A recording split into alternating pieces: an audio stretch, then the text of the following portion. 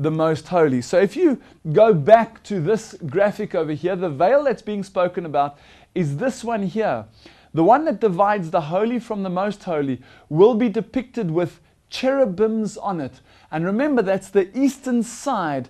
The side, here it says, Thou shalt make a veil of blue and purple and scarlet with cherubims. The angels that were put there were put on the eastern side. That is the veil. That is the, the blockage now that separates God from his people. God is no longer at one with his people. Now, there's a better picture. You can see the, the various colors, and also on there are depicted the angels of God separating the most holy from the holy place. And when that closed, I'm talking spiritually now, brothers and sisters. When the spiritual door closed, Adam and Eve recognized and realized that they were naked. So, did Adam and Eve walk in the sanctuary? Yes, they did. Let's have a look. Moses walked in the sanctuary. Adam and Eve walked in the sanctuary. What about Abraham? Did he walk in the sanctuary? Well, let me ask you a question. Where did Abraham live spiritually? Was Adam a man that studied the Word of God? Yes. Was Adam a man that spread and preached and shared the Word of God? Yes. Was Adam a man that prayed diligently? Yes. Adam was, uh, I beg your pardon, Abraham was a man that lived his life spiritually in the holy place. Now the Lord asks him to do something. Listen. And it came to pass that God said to Abraham, Take now thy son, thine only son, Isaac, whom thou lovest, and get thee into the land of Moriah and offer him there for a burnt offering. Please note for a moment here. The Lord is saying to Abraham, Take your son, your only son, and sacrifice him. Can you see a parallel? God the Father sends his son his only begotten Son, whom he loves, to sacrifice him. Here he says to Abraham, You take your son, your only son, whom you love, and sacrifice him. What's being played here is a parallel between Abraham and Isaac and God the Father and Jesus. Let's read on. And Abraham rose up early in the morning and went unto the place with, uh, of which God had told him. And on the third day, Abraham lifted up his eyes and saw the place afar off. And Abraham took the wood of the burnt offering and he laid it upon Isaac, just like the Lord laid the cross upon Jesus, the cross of sin. And he took the fire in his hand and a knife, and they went both of them together. And Isaac spoke unto Abraham his father and said, My father, I see the fire, behold the fire and the wood. But where is the lamb for a burnt offering? And Ab- listen to these words. And Abraham said, My son, God will provide himself a lamb for a burnt offering. Can you see that? The, the Lord is showing Abraham, he's prefiguring something. He's saying, uh, Let me test whether you are walking as I will have to walk. Sending my son, my only begotten Son whom I love. I will have to lay the wood, I'll have to lay the cross on my Son and have him sacrificed. Listen. And they came to the place which God had told him of. And Abraham built an altar there and laid the wood in order and bound Isaac, uh, uh, his son, and laid him upon the altar of wood, just like the Lord laid Jesus on the cross. And the Lord said, Because you have done this thing and have not withheld your son, thine only Son, I will bless thee. It's a very beautiful parallel, brothers and sisters, between Jesus and Isaac, between Abraham and God the Father.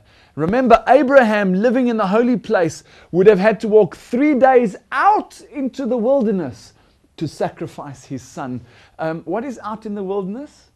The sacrificial altar. Can you see that in your mind? So let's ask Moses walked in the sanctuary. Adam and Eve walked in the sanctuary. Abraham walked in the sanctuary. What about Joshua? Did he walk in the sanctuary?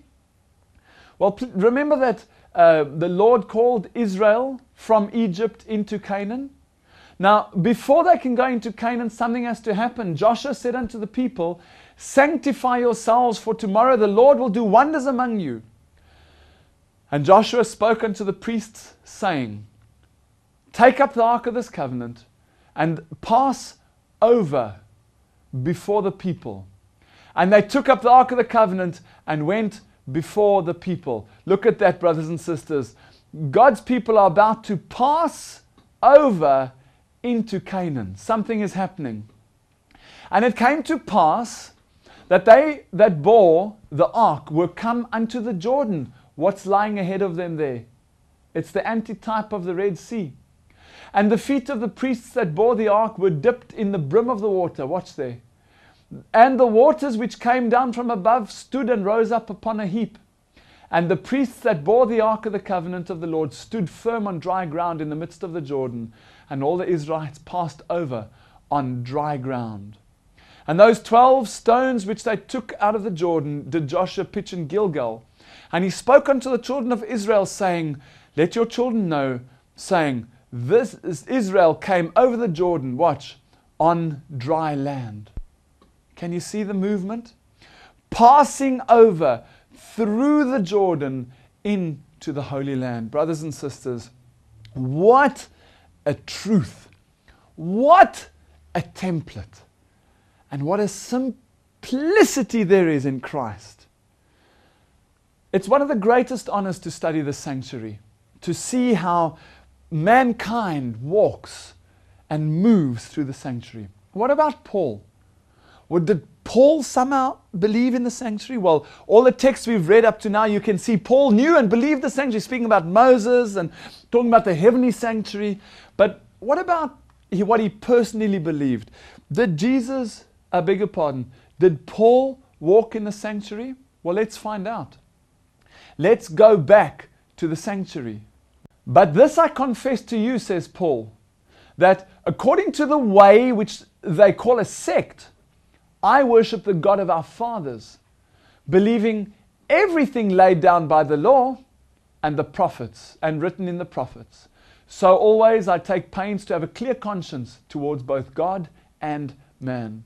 What Paul is saying here is it doesn't matter if it's inconvenient or if it's unpopular or if they say that you are belonging to a sect. If you, like Paul, believe according to all the law and all the prophets, well, then you might have a good conscience towards God and man. Let's read it again. This I, Paul, confess to you that according to the way which they call a sect, that's a pretty derogative name, I worship the God of our fathers according to that sect, making sure that I believe everything laid down by the law, so everything in line with the sanctuary and the law and the Moses, etc., and written in the prophets. So I always take pains to have a clear conscience towards both God and man. Do you know that the Ten Commandments are split into two sections? Four towards God and six towards man. What Paul's saying here is, I always take pains to have a clear conscience towards God and man. I keep the first four commandments and I keep the last six commandments. And yes, the people say that I belong to a sect, but this is according to the sanctuary, according to Moses, according to the law and all the prophets. Brothers and sisters, we've seen Moses, Adam and Eve, Abraham, Joshua, Paul in the sanctuary. What about you and me. How do we feature in the sanctuary? Let's look at this. Number one, brothers and sisters, we need to accept Jesus as our personal Savior. Jesus says, I am the way, the truth, and the life. No man comes to the Father but by me. That's the first step you do. You worship the Lord for the fact that He is King of kings. Secondly, second step, you accept that Jesus died on your behalf. You accept his sacrifice as the sacrificial atonement for your sins. You know that you were not re- redeemed with corruptible things, but with the precious blood of Christ, as of a lamb without blemish and without spot, brothers and sisters. Jesus said unto them, Verily, verily, I say unto thee, except a man be born again cannot see the kingdom of God. What's the next wait, thing waiting for us there, brothers and sisters? It's the water, the womb, the watery womb of the rebirth. Step three repent, confess your sins, and be baptized. Then Peter said to them, Repent and be baptized, every one of you, in the name of Jesus Christ for the remission of sins. And what's waiting after that? Living a sanctified Christian life the movement, brothers and sisters, into the holy place. Study Jesus, the Word of God. Man shall not live by bread alone, but by every word that proceeds out of the mouth of God. I am the bread of life, says Jesus. Pray through Jesus, the altar of incense. Let my prayer be set forth thee as incense. Watch ye therefore, and pray always, says the Lord. Share Jesus, the light of the world. I am the light of the world. You are the light of the world. Go ye therefore and spread that light of the world teach all nations. Brothers and sisters, can you see the steps, how it's methodically laid out? You accept Jesus, you then acknowledge the cross, you are baptized, and you become a Christian. Step by step by step. The business plan of salvation is the simplicity that is in Christ. There's another step which is going to take us into the most holy, but I will be discussing that in depth in the next or the final couple of presentations.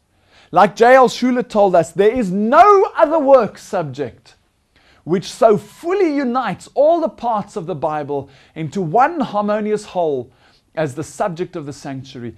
Every gospel truth centers in the sanctuary service. All of the temple, all of it is saying glory. This is truly the everlasting gospel, the theme of all scripture, the message which goes to all people, all nations, and all ages, because his way is in the sanctuary. Brothers and sisters, this is the message of Christ.